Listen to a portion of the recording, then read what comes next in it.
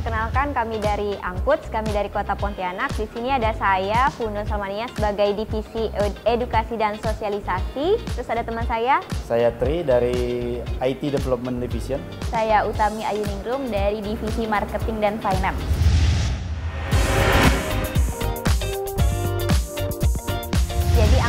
Merupakan aplikasi jasa kurir sampah yang pertama di kota Pontianak dan telah berdiri pada tanggal 22 Mei 2016 kemarin. Uh, sebenarnya tujuan dari Arkus ini adalah mengajak masyarakat untuk lebih cinta ke lingkungan. Kita pengaplikasian kayak menjemput sampah dari rumah masyarakat dengan syarat dipilah terlebih dahulu. Jadi kita mencoba uh, menerapkan ke masyarakat kalau masyarakat yang menghasilkan sampah, mereka juga yang harus bertanggung jawab dengan sampah mereka.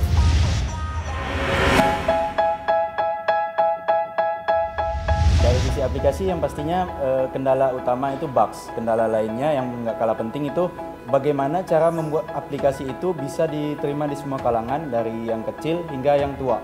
Target kita itu lebih ke ibu-ibu rumah tangga ya. Jadi kita lebih gimana caranya orang-orang yang umurnya udah di atas 40 tahun juga tetap bisa gunakan aplikasi kita.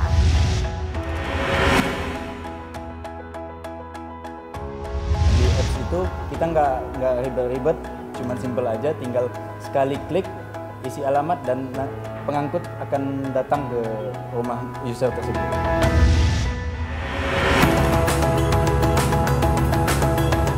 Karena uh, seperti kita tahu juga pada tahun 2015 itu Indonesia sebagai negara kedua penghasil sampah terbanyak di laut. Nah, uh, angkut ikut menjadi solusi gimana caranya masyarakat mengolah sampah mereka sendiri. Seperti tadi tujuan yang utamanya membentuk habit dari masyarakat Indonesia itu sendiri agar sampah yang mereka hasilkan mereka sendiri yang kelolanya.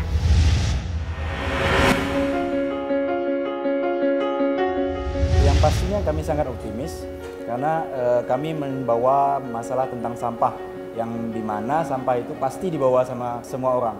Dan memang kita tim satu-satunya yang membawa permasalahan seperti itu di kami dari Akut dukung kami untuk menjadi pemenang favorit Next 2016.